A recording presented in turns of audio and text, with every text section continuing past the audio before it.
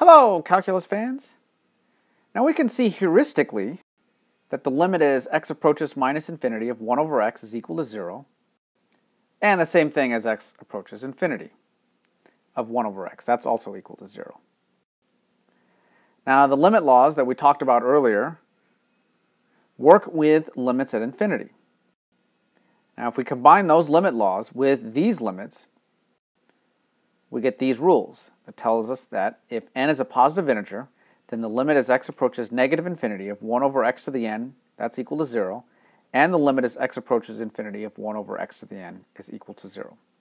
So whether you're going to minus infinity or positive infinity, either way, you're going to get a limit of 0. Okay, that's all for now.